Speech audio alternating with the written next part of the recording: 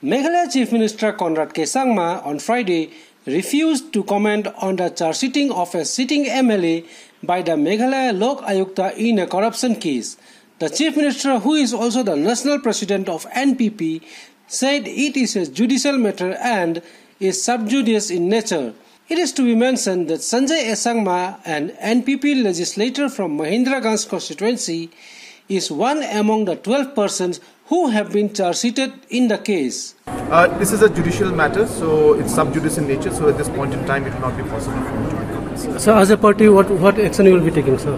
No, as I said, it's sub judice matter, so right now I, I will refrain from making any comments. Thank you.